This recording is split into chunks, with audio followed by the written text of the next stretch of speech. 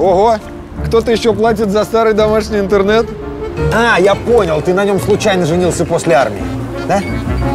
Точно, интернет достался тебе по наследству вместе с этим. Да я просто за ваши супер-пупер скорости платить не готов. Три миллиона москвичей тоже не готовы, поэтому подключили себе джипон. Интернет и ТВ нового поколения по цене старого. Джипон. Высокоскоростной интернет и цифровой ТВ за 549 рублей в месяц. Ты все три миллиона так подкалывал? МТС. Ты знаешь, что можешь.